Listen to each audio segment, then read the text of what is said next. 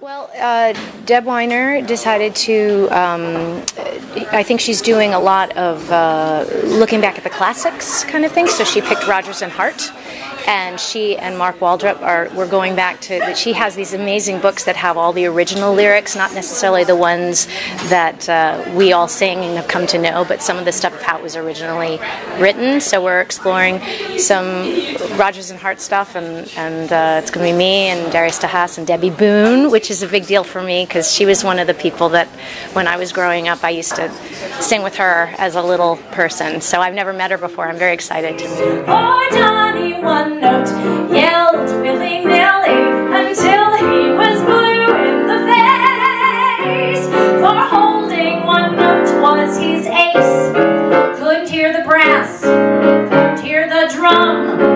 He was in a class.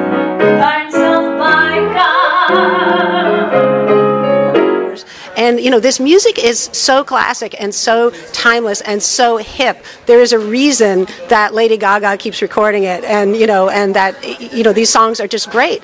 And so the, the point of this series is to really present the best people and the best musicians doing the coolest songs in a really fresh and irreverent and fun way.